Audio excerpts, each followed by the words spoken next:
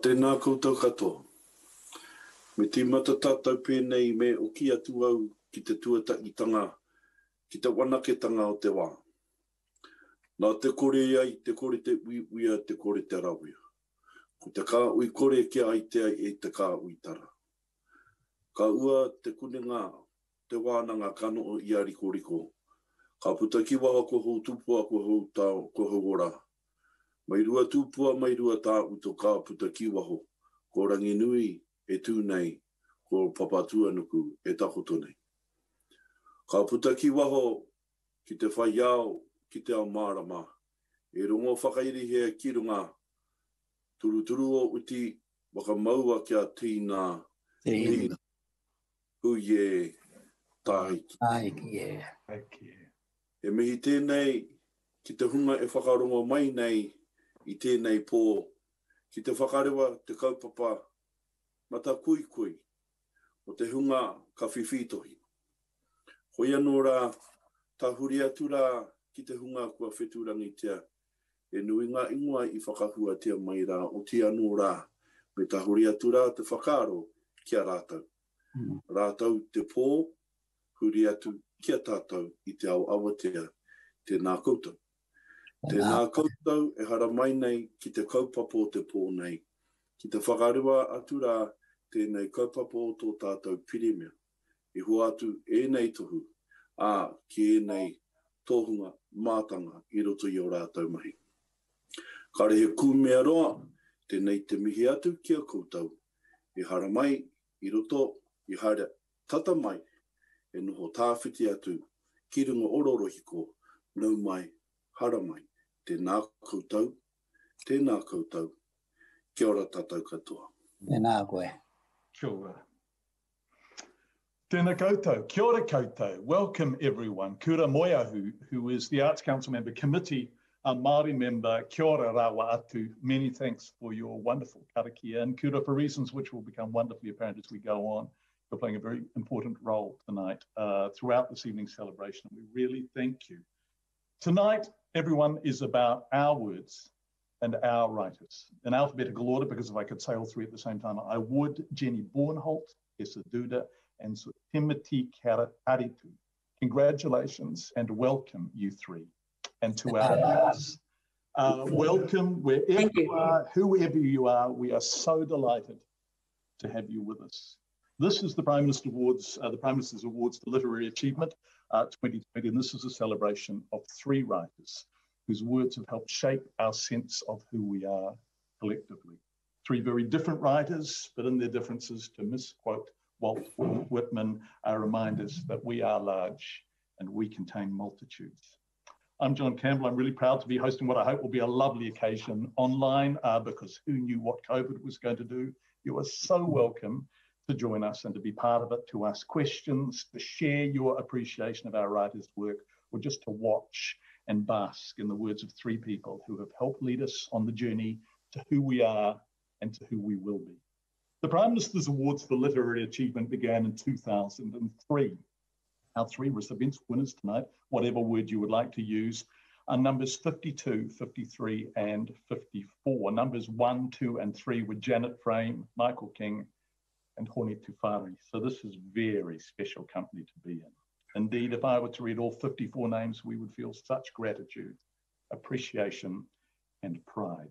This is also a lovely thing to win because it's accompanied by $60,000 each, and writers very seldom. I think I'm smiling at you, Tessa, get that kind of payday very seldom. I love getting money, said Margaret Mahy in 2005. She was stoked. And why wouldn't you? So, Penny, Tessa, and to Timothy, pour yourselves some champagne, and I'll very uh, briefly introduce them. and then we'll hear from the Prime Minister herself, and then from Michael Moynihan on behalf of the Arts Council and Creative New Zealand. And then we'll have a chat with our writers, and then we'll do some readings, and then a bit more of a chat, including your questions. Now, if you have questions, and we've already got some wonderfully, uh, please ask in the comments threads. The comments threads. Please do. We'd love to hear from you.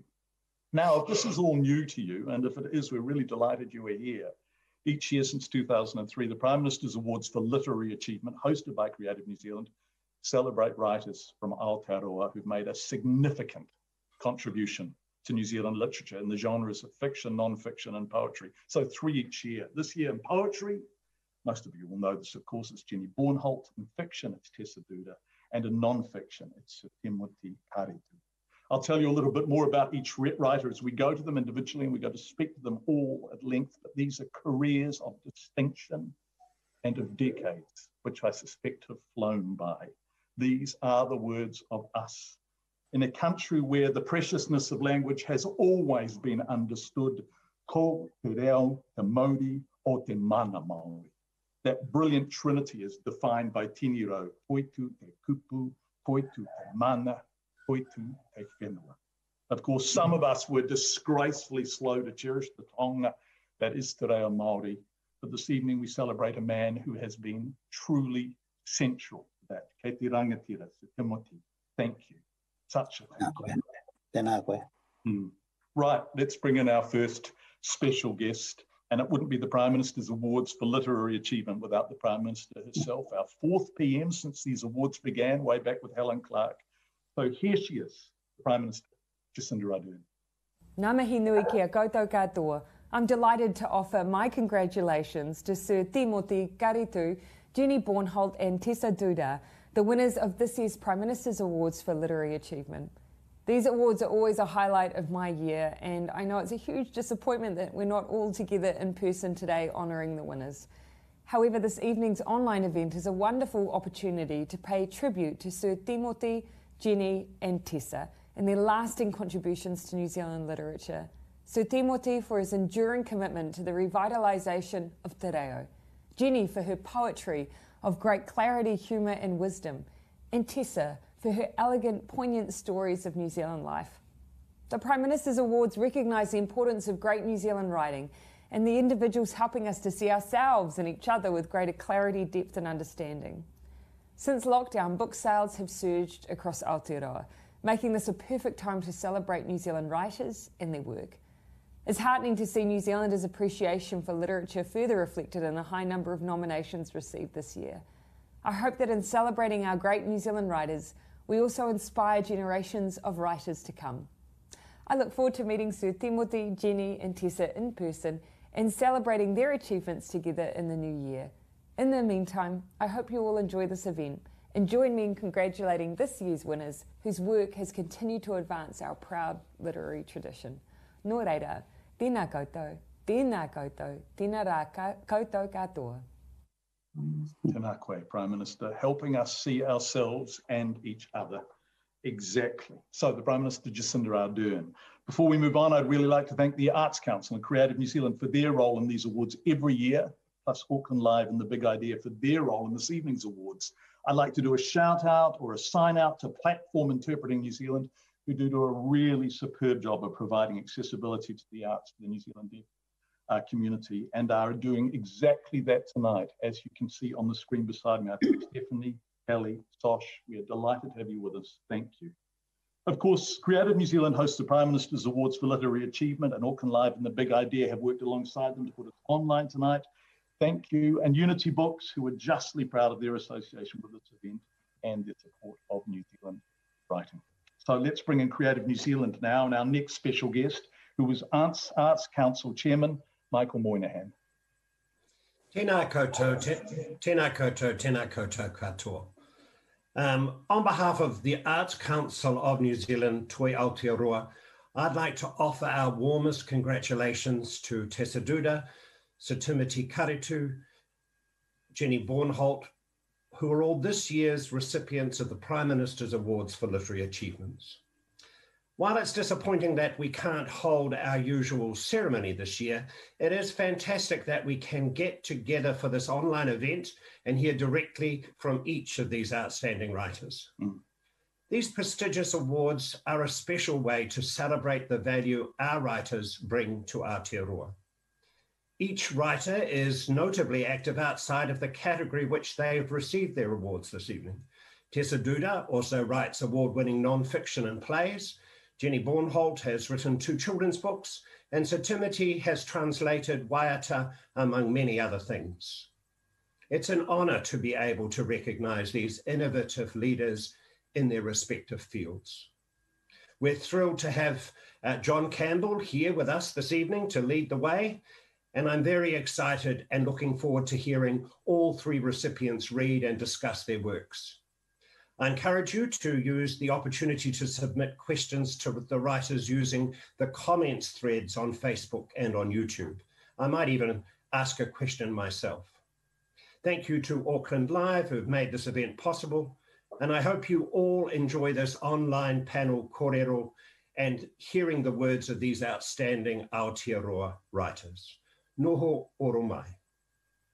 Thank you, Michael. They are prestigious awards and it's wonderful to be part of them. And it's fantastic that they have happened every year since 2003. Right, writers, Prime Minister's awards for literary achievement recipients for 2020. Jenna, Tessa, sorry, Jenny, Tessa, so Timothy, let's bring you in. Congratulations. It's so lovely to have you with us. Um, Tessa, I'm going to start with you cheekily, but yesterday we had a little bit of a technical rehearsal and you were just grinning from ear to ear. And I just, yeah, this is this is wonderful, isn't it? Absolutely amazing. I'm, I'm still astonished and sort of reeling from, you know, this wonderful uh, acknowledgement of 40 years. So, yes, I am very, very pleased and happy. Yeah. J- Jenny, what's it like to be noticed? What's it like to, to, to be told that you have won this? Oh, hold on. Now, Ginny, I think you're on mute. Yep, I've just. Oh, here you are. Yeah, we've got you um, now.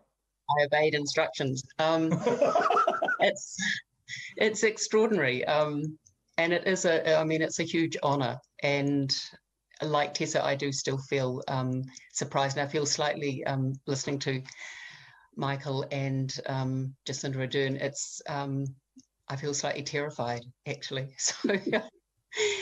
Um, terrified and delighted, of course. So Yeah. um, yeah, it's a it's a really wonderful thing. Thank you.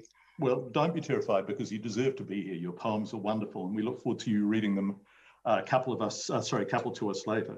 Uh, so, Timothy, um, you've described this. I was reading, I think, in the Big Idea, a signal honor, a signal on it, not only for me but for the Maori language. And you point out, and I think correctly, that Matamua uh, Koti Kupu is Maori only.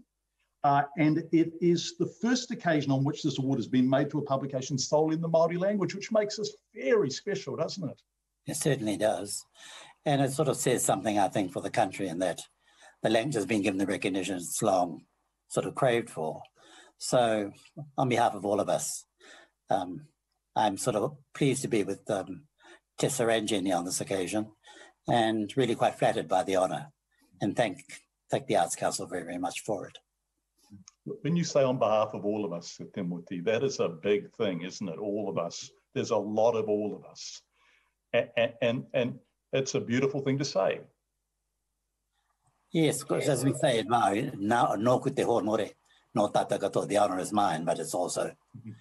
All the, all the people to whom I to whom I'm related, the tribes of New Zealand, and so it goes on. You know, we are, we are not islands, like John Donne says, we are not islands. So, Yeah. I, I, I, there's beautiful stories. And you were saying to Jenny, did you get a message from Barbara Ewing before that you passed on to, to Jenny? Is that, yes, yes. yeah. And, and, and I, I was just, I was looking at a glorious piece of footage uh, from the early 50s. I sorry, the early 60s, I think. Ngati Wow. Rānana, a, t- right. a TV performance in London. My goodness me. Yes.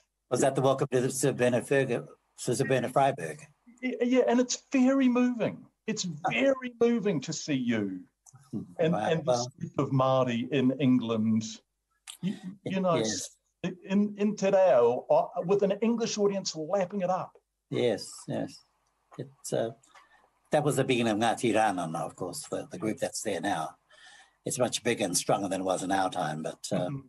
it has grown um, in London with the with the support of the High Commission in London. So um, we're very lucky. It's a very lucky organisation. Mm. Tessa, And Barbara to- was actually one of our performers. Yes, she was. Yes, she was. There you were Yeah. together She has sung with us, you know. Yes, yeah, 60 years ago. yes, and more. I think. Yeah, no, that's about right. Yeah. Wow. Yes. I, I, I, want to talk to you later, but I do want to.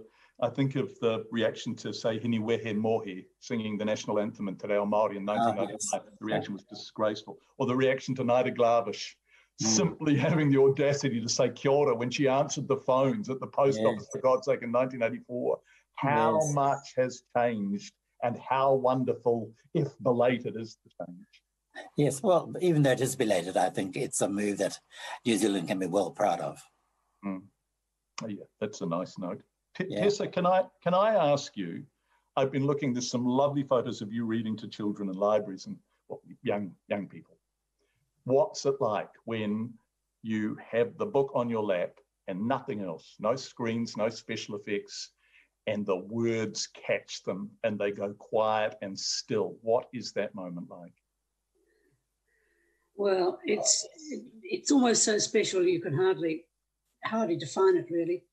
I mean, all children's writers know that, and particularly ones who've done, as I have, you know, literally hundreds of, of school visits. You always look for that sense of engagement. Um, yeah, just just the, basically, it's it's the um, it's the importance of story really, and once you capture them um, with with the the story that you're telling, well, then you're you you're sort of home and hosed really. Margaret Mahy used to emphasize tremendously the importance of just plain story.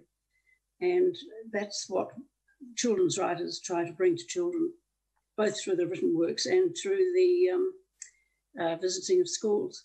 And I saw some wonderful research recently from England that um, author visits apparently have a tremendous effect, far more than we've ever, ever known in the past, uh, on children's ability to read and their love of books. So, for all the work that the um, Read New Zealand, the former Book Council, and Storylines do to make sure that uh, writers get out to um, talk to children at schools, that is the most wonderful reinforcement that I've read in a long time. Mm. So, yes, to all those children's writers who are busily uh, doing the rounds, it's it's the most fantastic work we could do once we produce the books. Yeah, I agree. It's really meaningful. And I hope people are tuning in tonight and experiencing at least one of the three of you for the first time. That would be very, very exciting. Jenny, uh, can I come to you? And we're going to talk more specifically about uh, your poems later, and you've got to read us too. And I, am really looking forward to that. But I was just reading Flight again. Um, do people often pick Flight out? Wow, it's good.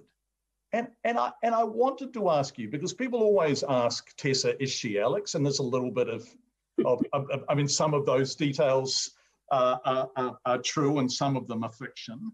But um, in flight, it begins, it came to pass that I boarded a plane and as I edged past the man in the aisle seat, he said, my name is Dove, Dove, Dove? Dove. Yeah. Dove, I knew you would come. And then, and I want, is that true? Yeah, it is true. Um, Bloody good. I know, wasn't it good? I felt he was sent to me, um, you know, especially. Uh, yes, he was sitting in his seat and he said that. And I, at that stage, I didn't know. I mean, it was just something that we exchanged. Um, and then the poem, he, he ended, he came into that poem. I mean, it, the story the story about being it's a story about being on a plane and um, the plane losing an engine and falling through the sky. It wasn't that plane flight but i was on a flight where that happened um, with our son. Um, it was a truly terrifying experience. So i mean uh, the lovely what i like about writing poems and i suppose it's the same for fiction writers is that you you bring together these things that might not otherwise belong together um, and you make a story out of them. Um, as Tessa was saying, I really love story. Um, and I think a lot of my poems tell stories. And this was one. So, so there was the flight, and there was the man who whose name was Dov and said he knew I would come. And then there was a book I was reading about a photographer, um, Sally Mann, and she talked about a place where she had photographed, which is where a place where bodies uh, uh, human bodies are left to decompose in the open. It's a kind of scientific study place. Um, and that's uh, that's the image on which the poem ends. So those those things all came together to to make this poem. Um, yeah. This is an interesting conversation, is it? And, and we'll have it a bit more later. And, and, and so, Timothy, we're about to come to you for our first reading, but Jenny, what requirement do poets have to t- tell the truth? I mean, if I, you know, I was talking about this with Bill Manhire at Word in Christchurch. If I found out that Philip Larkin had completely invented Dockery and Son, I'd be devastated. And yet, why? Why do poets need to tell the truth? Why do I want you to be telling me at yeah. least? and why does that matter?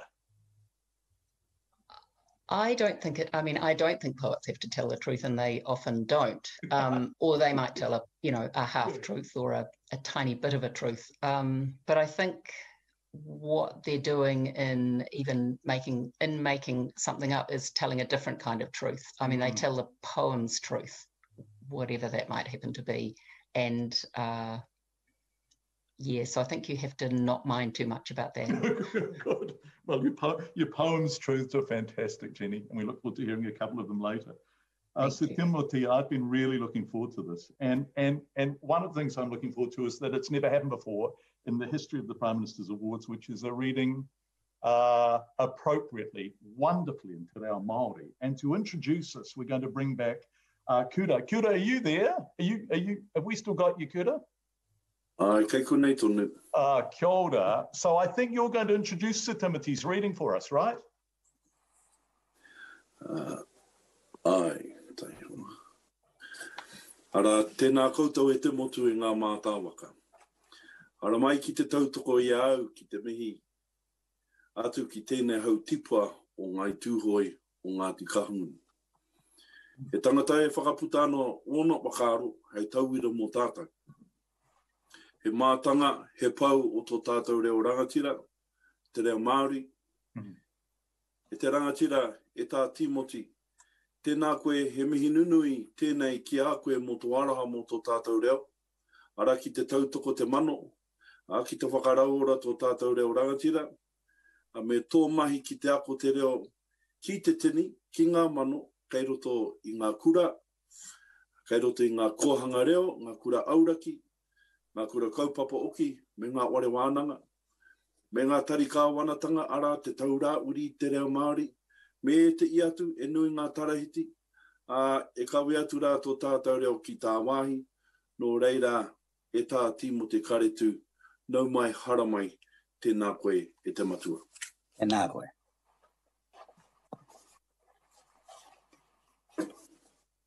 He mihi nei ka noho a kau i oku mahara. Ka tuku ai ka rere ki ona papa, ki ona kapa, ki ona tāngata huhu anoa. Nā rere nei i tai ai tēnei kohi kohi ngā whakaaro. Te tuku ki te ao, mā rere nei e whakatake e mai, e whakahe mai, e whakanui ke mai rānei. Aha ko pēhea te waiaro mai o te tangata ki ngā kai, o te pūki o re kōrero nei, ka tohu mai tērā ki a au ko tirohia, Uh, ma te aha i tērā. Ki te kore te au haka, ko kore pe i pēnei te nui o te kōrero, o te kupu ka takoto ki te whārangi, hei kai mā ngā mata o ngā uri atua ki a rātou. E te au haka, tēnā no rākou to katoa, e kawetunu nei i tēnei pui pui aki a tātou, ki ona taumata ke no atu, e whakamiharo chai tō koutou kaha, tō koutou wairua auaha, tō tu aroha anō hoki ki tō tātou reo. Nā o tātou pakeke te tohu tohu mai, kei whakahua hua ingoa. Ka mahue ko etahi, ka pāma mai ko era. I whai wāhi atu au ki ona tani whao te au haka, i tōku iwi tonu, iwi ke atu anō hoki. Anā te aroha nui mai ki au, ka tukunua mai i a rātou kupu, i a rātou waiata, i o rātou whakaaro ki te huri o te au haka, ki ona pai, ki ona kore i pai. Kei roto i ngā kōrero aku mihi ki te hunga nā reira nei au, i whakauru nui mai. Nā reira, e kore whakarārangi tia i konei. Kia ora, tēnā koe. Kia ora rawa atu, uh, Sir Um, we, I've got a translation of that uh, provided by Piripi Walker, for which I'm very grateful. But I want to say that um, that's pretty special sitting here and listening to uh, an award recipient reading a book that has not been translated into English exists solely in Te Reo Māori, and it is an affirmation of your singular love of that language and your championing of your language, of, of that language, and your determination to make it central to who we are. And I think you talk in that passage uh, of resilience, of creative genius, and of uh, the commitment to the language. And, and I want to pick up on resilience. There must have been times when people who love and speak Te got sick to death of being resilient. Had a guts full of it. they certainly got a, they certainly got sick of Sachi Musikare, I can tell you.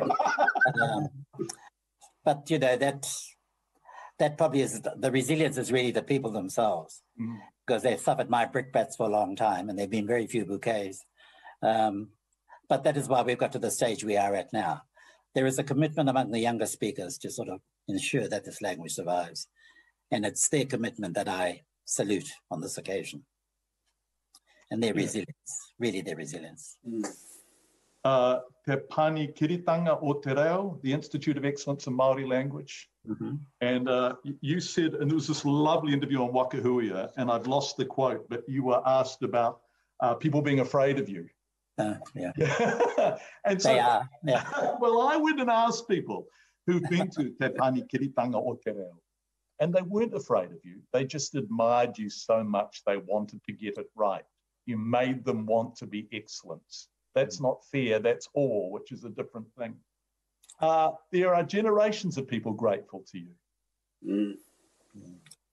Well, that's very flattering to hear. uh, but the Panekiretanga o Te Reo, those students who came to that, um, came came to visit, came as students for us, were those who were committed, highly committed to the to the mm. proposition that this language means something to them, and they wanted to master um, aspects of language that are not commonly taught in classes um, and a whole different level of language was what we were aiming for, and that's what we've tried to feed to them. Mm. Gosh, uh, some of them are extraordinary, aren't they? Some of some of yes. my colleagues. I mean, it's just magnificent the way they use Te Reo Māori. Yes. Yeah. What what's it like to hear it? And I and I go back to the fact you were the first Maori language commissioner in 1987, and there was a sense, and I'd love to hear your take on this, that the language was endangered, under some threat. Was it? Were we losing it? I think there was uh, no real threat. It would always survive with a few speakers. There will always be speakers of the language, no matter what happens. But my salient memory of 1987 is when I tried to put an advertisement in the Dominion to look for a PA who was Maori speaking. Therefore, I wanted the advertisement to be in Maori to test the language of the applicant.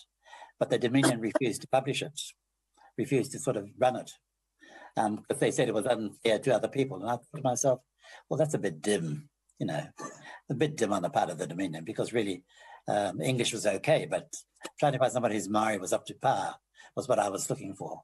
But that's we've come from that to now where you can sort of send anything in Maori to any newspaper in the country and they will publish it. So we have moved on in great strides. Boy, we were late though. I mean, if you think by 1987, what we'd had homosexual law reform, we'd sent frigates to Mururoa Atoll to protest against French nuclear testing. Why were we so reluctant, so egregiously mean about Te Reo Māori?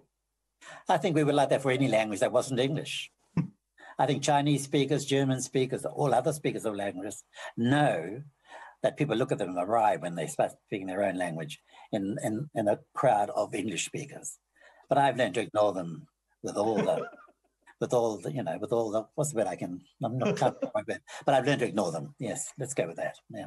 Yeah, that's, that, that's very nicely, that's very nicely put.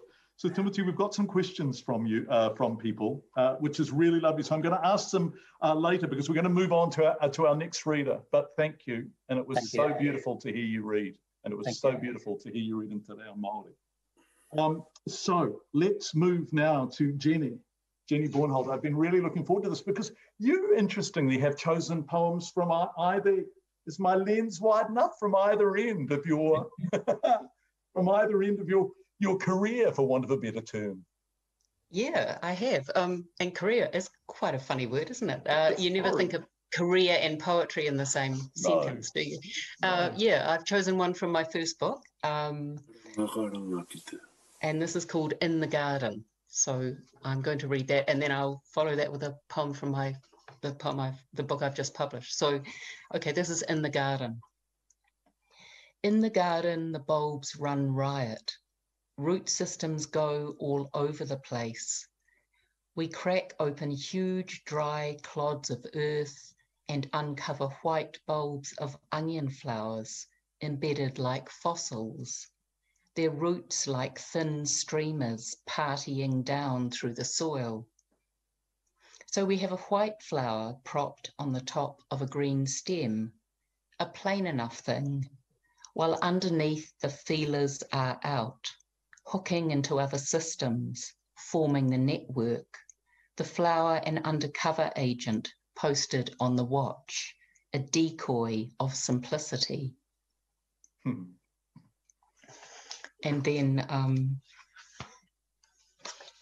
the second poem I wrote in memory of my father-in-law, Jack O'Brien, who was a he was a hand printer and a great collector of books. And towards the end of his life, um, I had the privilege of sitting with him, and he said this great thing. He just said, "Something is everywhere," and so that was just a phrase that stuck. Um, so I wrote this poem. Something is everywhere asparagus everywhere in the garden, like eggs laid by wayward hens. The river too is everywhere, rising up over the stone wall, over grass and the track. The boardwalk now an underwater path through trees, which still send fluff everywhere into our rooms, our hair. Dogs are everywhere, they bring their something fur on their something bodies and sniff and run around while their owners look at the everywhere river and think of somewhere elsewhere. Everywhere inside a book was the place my father in law longed to go. Books being like the river, something and everywhere, beauty pooled in their lines of type. Gosh, that's good. I love that poem. It's so good. Um, let's talk about the difference between them. They're 31 years apart. Mm, that, yeah. I'll tell you what, though. I reckon in the middle of in the garden, and you can just say, John, that's bollocks. Feel free to call me on this. But there's a there's a classic Bornholdtism. Is that is that a thing? A Bornholdtian moment. And, oh, and I quite like that. Uh, uh, and that is a plain enough thing, next line, while underneath. And I hmm. love the way you look beyond the plane and beneath the surface and behind things and through things and make the ordinary extraordinary. That's not quite right. I'm, I'm winging this. But do you think a plain enough thing while underneath is very you? Yeah, I think it is. That's a very um there you go. You can go to the top of the class, John. Yeah, I think. Um, yes, I think it is. I, I do like the plain in life. Um, and I always think there's a lot going on um, in the plain. And it's, yeah. I guess it is what I look out for. Um, and I do like what's underneath. Um, I think there's always there's always an underneath to everything, um, which is worth having a look at.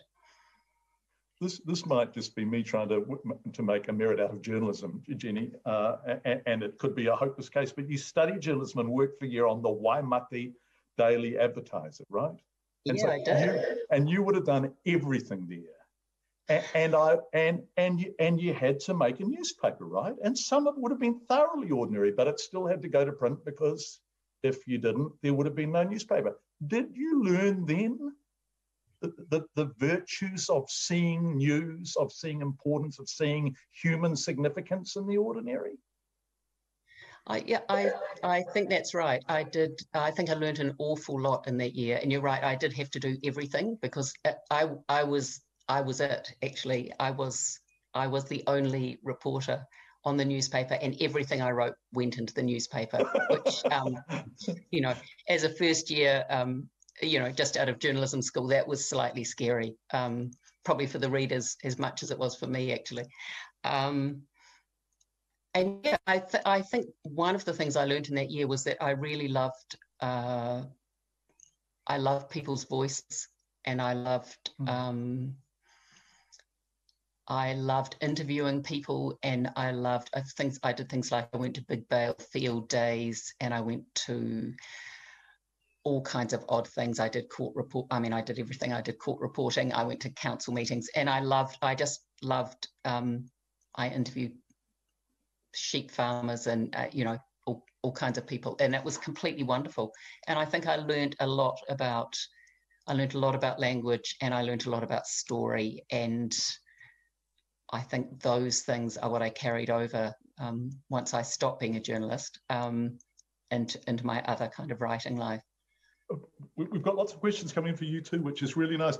Uh, Tessa, I'm going to come to you in a sec, but one, one final question for Jenny, although Tessa, I know you weren't allowed to be a court reporter because you, right, that's right, because you're own, you're only a girl and court reporting was for the boys. I think that's right. So Jenny got one up on you, but Jenny, just before we move on, and I, we were celebrating Sir Tīmoti for the way he has made us see and hear things that we ought to have seen and heard.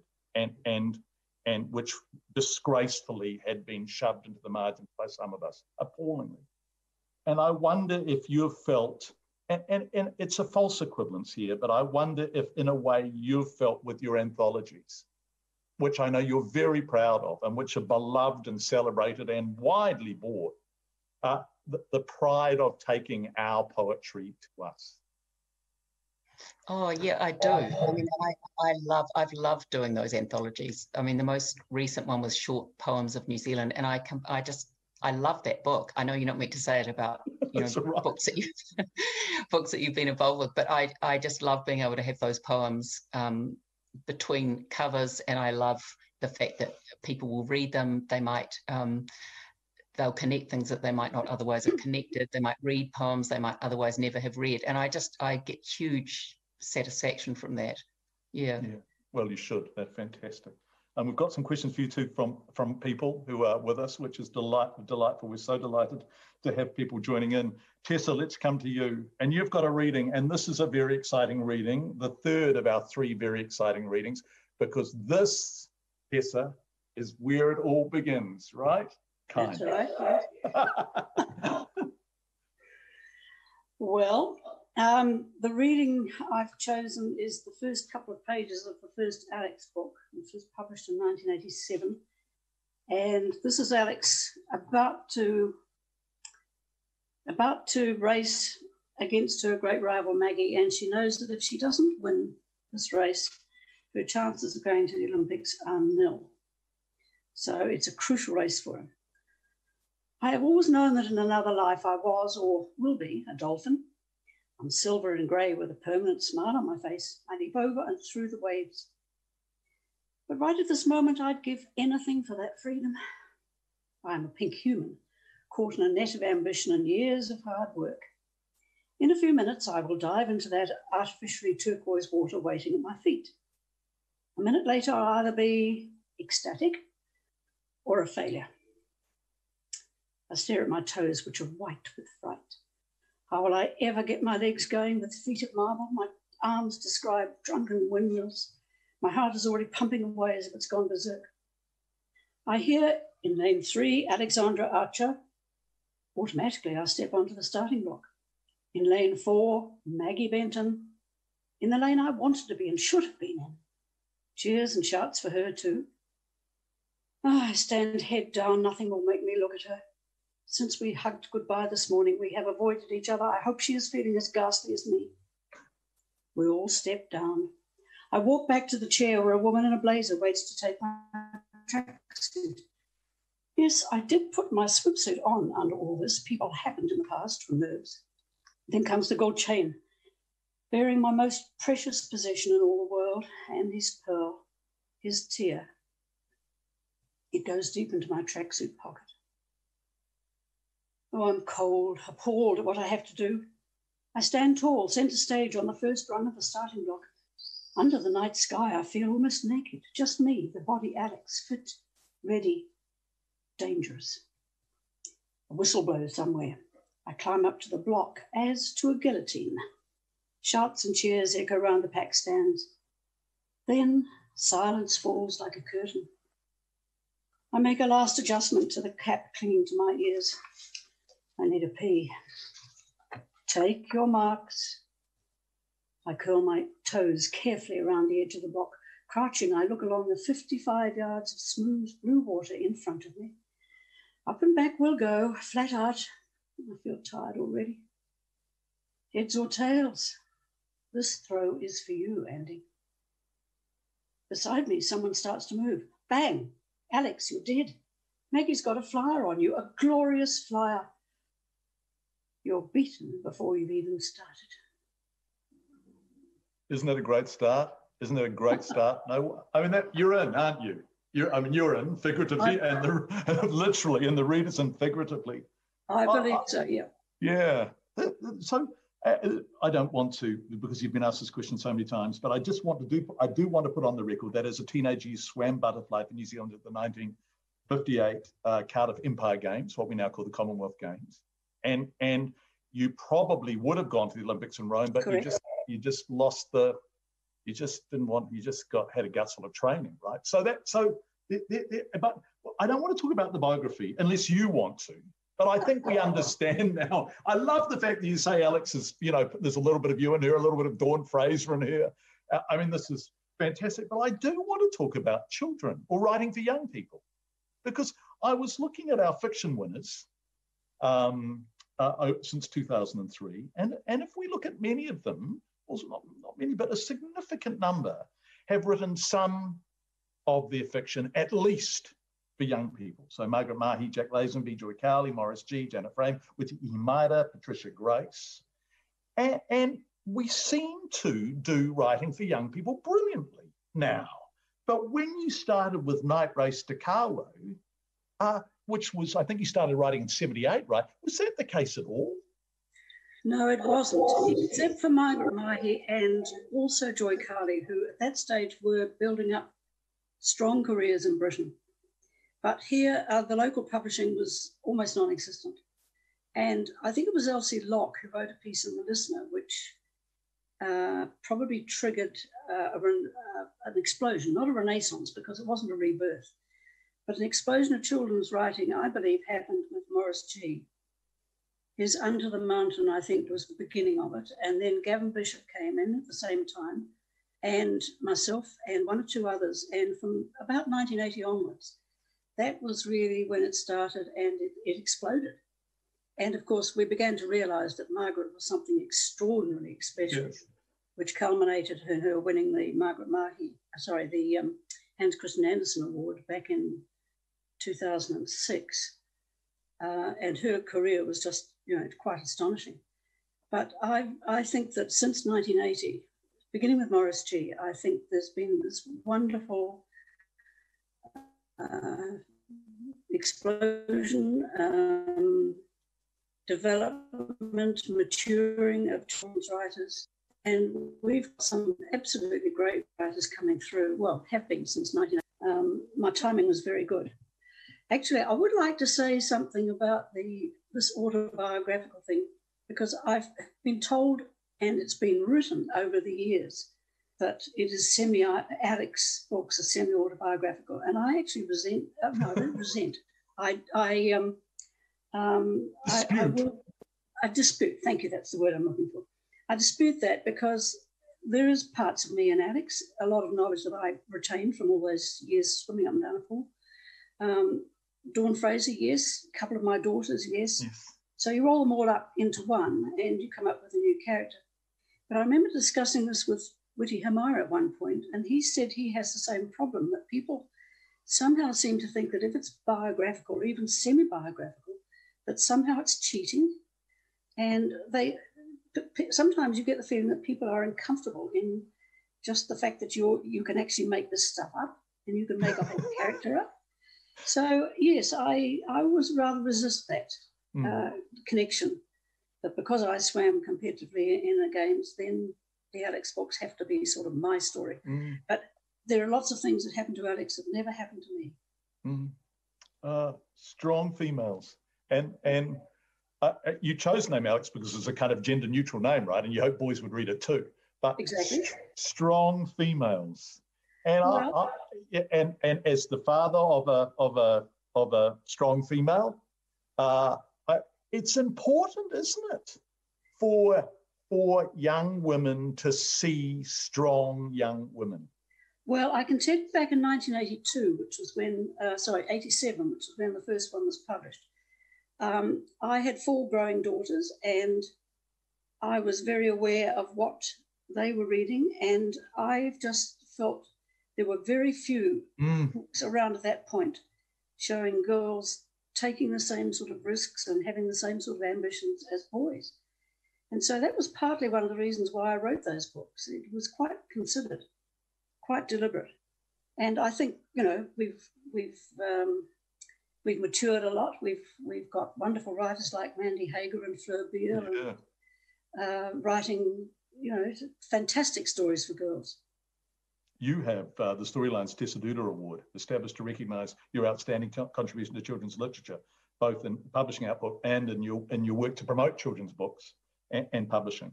And, and I wonder what it's like when you read someone young who, who, who you maybe have not heard of before, writing brilliantly for young people, and and knowing that you are part of that legacy, that you are that you you know is is that fantastic? Oh, of course it is. it's absolutely wonderful. I mean, when they named that award after me, I was totally embarrassed, actually. but no, I, I mean, this year's winner is a uh, a writer from of, of the Tessa Duder Award. Um, is the uh, writer from Havelock North, and when I read it, her manuscript, my hair stand out, you know, stood on end. I thought, well, if there's any one of 28 uh, submissions that comes anywhere close to this, it'll have to be bloody brilliant. This this really was quite outstanding in itself, and I was just thrilled. Uh, and in the end, she was chosen as the winner, and uh, we, you know, that that's a career that's now on a, a, a on a trajectory and and is going to go somewhere as a she will make an um, an impact as an historical novelist. I'm quite sure of that. That's very exciting. And mm. and and maybe she'll be as successful as Alex. The paperback yep. of Alex is Penguins New Zealand, Penguin New Zealand's best ever selling work of fiction well, for adults and children. That's not quite right now, I think. It certainly was for a time. It was the best it was their best selling work of fiction. I think it's probably been that's been overtaken. But I can tell you something straight off the press. Um, I heard today from Penguin that they're going to reprint Night Race to Kawau 40 years on. 40 years on. yeah, it is, isn't it? Started in 1978, I think published in 82, right? The, your first. Yeah. And, well, and, and, I hope they won't mind me telling you, but. Um, oh, no. Well, I'm just, I'm just thrilled a bit. I really am. It's, it's, it's, it's a great story because dad is dispatched with early on. And, which is as it should be. we've got, we've got um, we've got lovely questions coming in so Tīmoti i'd like to can we come back to you thanks tess that was absolutely lovely we've got um uh really nice questions coming in from people and I, they feel heartfelt so sir Tīmoti i'm just going to read this one out what are the key things that need to be done to encourage more writing and publishing in Te Reo Māori. And I, I, I mean, the writing is one thing, the publishing is another, as you know. Uh, what are the barriers that need to fall and the opportunities ahead?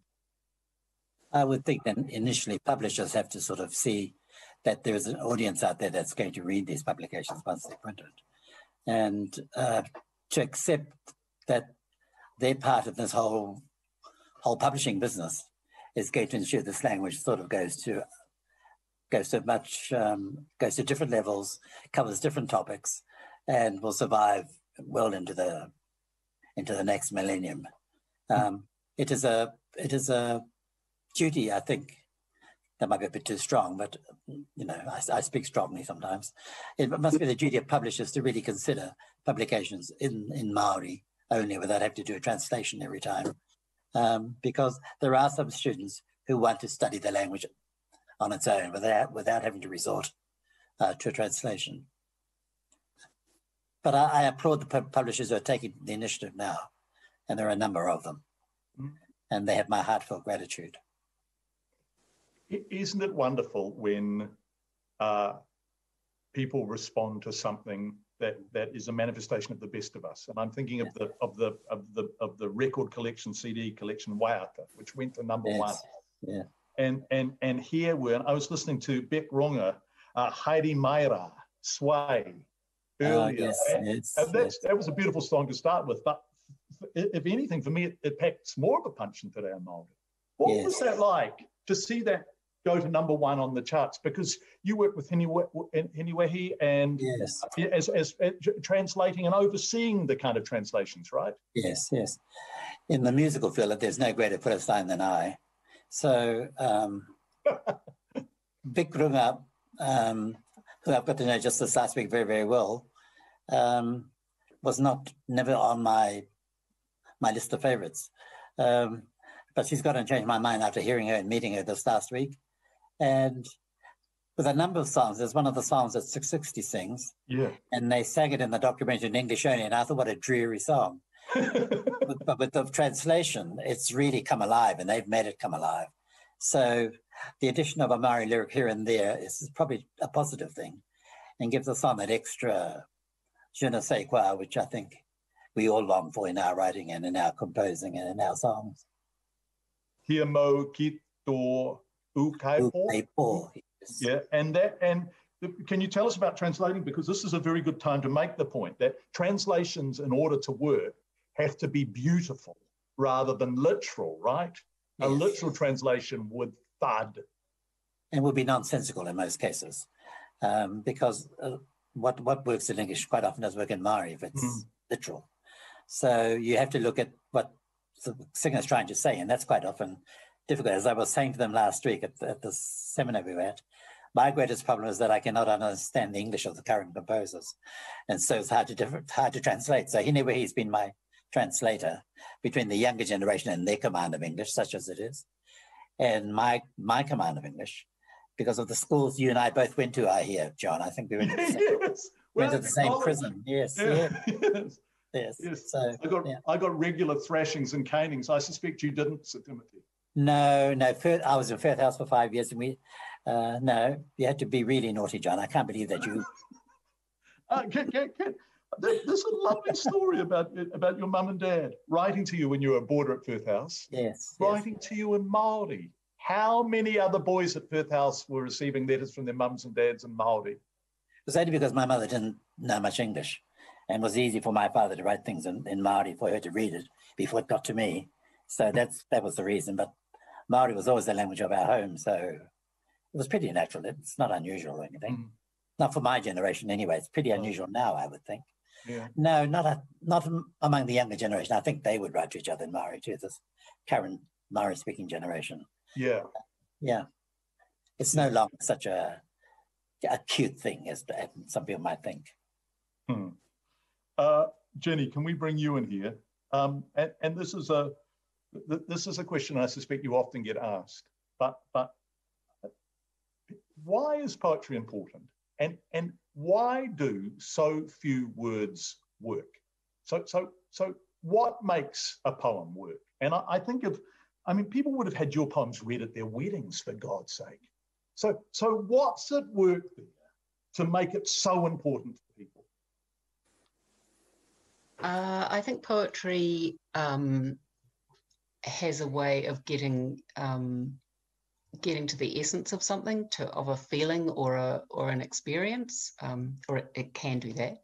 Um, I, I don't know that there's any. I don't think there's any one thing that makes a poem work. I think all kinds of things make poetry work, and poetry is so various um, that I think it's very hard to pin it down, which is also what makes it such a, a great form to be working in. Um, and yeah, I love the way that people um, people read poems at weddings. They read them at you know, weddings and funerals. Funerals, I- yes. Yeah, I think it's really interesting too that people will. That's that's where people go when they when they want to um, when there's an occasion when there's something that's really important that they um, they want to celebrate or mourn is they always go to poetry. It's people don't read, you know, they they don't tend to read a, a prose fragment at a wedding. It's always, you know, it's always a poem. Um, it's it's so interesting that they this is the form that they go for. Um, and again, I think it's something to do with perhaps the musicality of it, the um, the emotion that's expressed in a very you know tight, sort of concise way. Uh, yeah, I mean, poetry's terrific. I think. Um, so do I. You know, I think poetry will cover any occasion. Actually, don't just save it for weddings and funerals. I think no. you can, you know, put it to put it to good use. Yeah, um, I want to. Uh, I want to this sort of lovely poem, uh, which I'm very fond of. Uh, please, comma, pay attention. It's I just, please pay attention, and then at the, the beginning of the next stanza, open your eyes. I mean, you. I'm sure you don't read it like this in such a declaratory fashion. And then the second to last stanza, be wild and curious. It's such good advice. And I suspect all three of our writers have been wild and curious. When you write a poem that is wild and curious, but actually, because it's you, looks measured and considered, are you playing a trick? Oh, um, oh, uh, I don't think I'm playing a trick. Um, no, I mean maybe I'm playing a trick on myself. I um, yeah, I'm not sure about that. Because uh, people always say, sorry, I'll, I'll, explain my question better. People yeah. always say that you are very much a poet and in control, right? That that yeah. there is a that there is a fastidiousness about the architecture of your poems. And I say, yes, but that doesn't exclude a great passion and, and actually, often your poems feel visceral too. And that's a hell of a balancing act. Oh, well, um, thank you. I mean, I do, I do, um, I mean, there's a lot of there's a lot of work. I don't really know what to say. There's a lot. I mean, there's such a lot of work that goes into a poem. I mean, you have to to get that kind of, um, I guess, to get that tightness um, which is often there, is really, and that concentration is a really tricky thing. Um, but I, I mean, I think that's the work of of writing a poem, and it's what's so enjoyable about mm. it. Do you whittle back? Do you start with more words and? and... Uh, I don't necessarily start with more words. Sometimes I do, but um, I might change to different words or um, shift things around a lot. Yeah, there is a lot of reworking that goes on um, to get that kind of um, to get get them sounding right, you know, feeling right. Um, do you know? Do you know? Do you have a moment when uh, when you just think, "Yep, that's a banger." You sit you sit back at your desk, yell out, "Gregory!" Is that? Do you have that? Do you have, do you have those moments? You know? Yeah, I do. Yeah, I do have those moments. Um, I do. Um, I might be a bit quieter about it than that, but yeah, I do um, and it does feel it does feel fantastic. I mean, it's I, it's such a um, it's such a great feeling to think that you've actually got what you wanted um, on the page. Yeah. Um, Jenny, thank you. We're, we're getting lovely questions, and I want to read. Uh, this, uh, actually, Tessa, I'm coming back to you, and we've sort of covered this off, except I want to uh, it, it's kind of a, a, development of what we were discussing before. You described the 1980s as the time when New Zealand children writing took off. In fact, it's possibly a response to the conversation we were having not long ago, uh, thanks to writers like Maurice Gee and Margaret Mahy. How do you see 2020 for children's literature? And who is having the most impact on it now? I guess you've slightly addressed that, but I sense you're really excited by where children and young people's literature is at. It's a slightly mixed bag at the moment, I think. Um, we've got some great commercial publishing happening. And there we have sort of wonderful people like Lynley Dodd who managed to combine both. She's both a critical success and, and very commercial. Um, I think there's one area, and that's young adult writing, which is struggling a bit at the moment, from what I hear. And I'd like to see that reverse, certainly. But we've got some great writers who are being published by the mainstream publishing. And we've also got um, people who are self publishing. Mm. And there are some of them, like Lani Wendt Young is a name that springs immediately to mind. Yeah, she's fantastic. They started off self publishing, stuck at it, learned how to do it, and then jumped the big sort of divide, if you like, into mainstream publishing. And so there are people in the self publishing area who are well worth looking at and encouraging um, because, you know, that is now an alternative route uh, to get published. It was always hard, it's still hard, but self publishing is now a, um, a viable route and can lead to, you know, greater success let's encourage people. What, what was it? We, we talked about Carlo before. What was it in 1978 that made you think, yes, I, I can do this? I'm going to, that's my, that's my dog. that's my dog. Good boy, He's sensing at 7.30. I promised him a walk when it was over. Uh, what makes what makes one think that they can write? and endeavor to do it and, and, and, and, and set out bravely. How do you do that, Tessa? um, in my case, it was like catching a disease. Um, I suddenly woke up one night on holiday up at Kawau and decided that I had a story in me which I need to tell. Um, four years later, that book was published as Night Race to Kawau in 1982. And it really was just a, a bolt out of the blue. I, I, sort of instinctively knew that it had to be a children's story. Um, I could have made it some sort of rather um, dreary feminist tone because this was 1978 when the second wave of um, of uh, feminism was had definitely arrived in New Zealand. But I knew instinctively that that probably a children's book would be the way to go, and I just stuck at it for four years and eventually had a um, uh, a manuscript which I was lucky enough to put into the hands of Wendy Harrex at Oxford University. Mm, mm. And she taught me just about everything I know in a very rigorous editing process, which cut down the original manuscript from 90,000 words to, to 60. So we cut out a third of it. But it, the book was so much better for it. and, um, you know, it's just been a, uh, that really started me on wanting to tell more stories. And so Jellybean followed, and then Alex five years later. And by that time, I was regarding myself as a full time writer. Um, and just, it was my job. That's what I did. Well, you've done it beautifully, absolutely beautifully. Thank and, you. and and there are generations of, and not, and we've talked. I mean, not just children, but there are generations of us who are grateful for it. Is it? Can we? Is there anything you'd like to say? Well, I'll just do Jenny and Sir Tīmoti. I'm just warning you that I'm just going to do concluding remarks in the in the fa- in the fashion of the sort of thing we're hoping for from Donald Trump any day now. Tessa, is there anything you'd like to you'd like to say before we go? Um, well, I, I, as I said at the beginning, I mean this this award has been an amazing surprise and just, I suppose, a gratification for, you know, 40 years and about 50 books. Because mm. I have written all sorts of things apart from fiction. Um, and I'm just very grateful to Creative New Zealand and the Prime Minister's um, support of this of this award.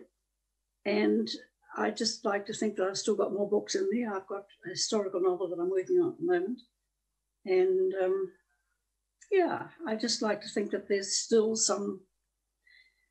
Well, I always said that I'd like to write something which topped Alex, and that I think is still my um, mm-hmm. it's still my uh, ambition. So thank you to everybody for. We, uh, we we really wish you well with that. Thank you, uh, Tessa, thank you. and and and uh, thank you uh, for, for the joy you have given uh, so many of us and the delight and the love of words. Thank you. Uh, that is a very special thing to have done and to have done it for so long. Uh, G- G- Jenny, is there anything that you would like to say? I, I, I would like to say, and, and, I think this comes to the point that Tess was just making, that she wants to keep getting better. I think you are, Jenny. I think your most recent collection, which was out last year, is, for my money, your best yet. Wow. And that's a high bar. Do you feel do you feel that way? Well, thank you. Um, yeah, I do feel that way actually, and I think that's um, that's the thing about having been writing for so long, um, even though it doesn't feel like that long at all. Uh, it's a it's a terrific thing to have been able to continue on doing this, and it is. It's been things like this this award which have enabled that to happen. I mean, because I know you're not meant to talk about the money, but you know, as Janet Frame or Margaret Mahy said, you know, it's fantastic. Yeah, and good. what it does is is give you time. Um, so that's a wonderful thing. Um, also, congratulations to Sir Tīmoti and Tessa, because I haven't said that yet. It's I just feel I mean it's such fantastic company to be in. So um, that's that's a really lovely thing. Um, and also, I just I think the fact that the Prime Minister's awards exist is a really great statement. Hopefully, about the value that um, the country places on literature and um, how important it is to um, to our lives here and to us. So thank you to everyone who's involved with that. Mm, lovely. I couldn't agree more. Uh, Sir Tīmoti, I, I, I mean, we've, we've acknowledged you tonight, but I wonder if we've acknowledged you sufficiently, although this award does that and a knighthood does that and a celebration of you does that.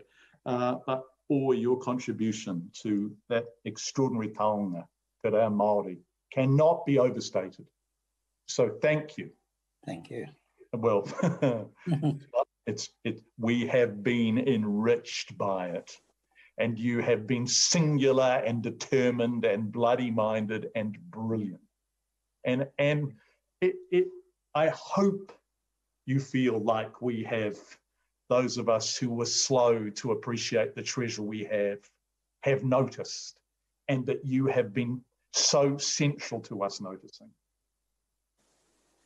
Thank you. Um, I think th- this award has to be a, a feather in the cap of Creative New Zealand and the Prime Minister's Award for accepting that Maori language has its own ethos, it has its own command of of all the subjects that we've written about in English. You can do them in Maori as well. So um, that acceptance, I think, is a major one. And I think on behalf of all speakers who are fighting for the survival of this language, I must um, congratulate the Prime Minister, not for accepting me, for, for accepting me as the winner, or appointing me as the winner, but on behalf of the whole of, of the Maori world, to let them know that there's a niche in this award for speakers of the Maori language and writers of the Maori language. And the fact that this has been the first one in Maori solely has to be um, something that we congratulate the selection panel on. So ngā mihi kia koutou katoa, toi Māori, tēnā koutou. Yes, couldn't agree more. Kia ora. Well, Sir Tīmoti Kāretu, Duder, Jenny Bornholdt, uh, thank you. It's been so lovely being in your company, not just tonight, but over years. And we are richer for it. It's been a lovely hour and seven minutes. We've really enjoyed it. Thank you for your generosity, uh, not just tonight, but for decades. And congratulations on all you have achieved and Tessa, all you will achieve. Uh, and, um, Thank you. Thank I you very much. I want to shout out Thank the. Creative New Zealand, uh, Kura Moeahu, uh, Michael Moynihan, uh, Heather Byrne, who I've been dealing with, who's been a, a joy to deal with, Auckland Live, Big Idea, Platform Interpreting, Stephanie, Kelly, and Sosh, and everyone who's tuned in. Everyone who's tuned in to this most unusual awards ceremony in these COVID times, but we've had lovely company from our wonderful writers. So thank you if you've been here tonight, either as a participant or a viewer. We are grateful for you. And Kura Moeahu uh, is going to say farewell. Thank you all so much. Tēnā koe. Nā. Ah, e ngā ui o te mo tenei. E rau me i mai rā te whakaro ki rungi tēnei toko rua nei. Ko i kohingia ngā pūtoi kōrero e oki atu koutou tatau ki te ahuru mō mai. He aha te kai o e nei rangitira kua kōrero ia nei i tēnei pō. Hei mātanga i te wakairo, te kupu me te kōrero, mō ngā manu e kai ana te mātauranga nō reira. Ki te toko, ki te toko toru, tēnā koutou, tēnā koutou, tēnā koutou katoa. Karanga karanga ki arangi nui e tui honei, karanga karanga ki a papa e takoto nei.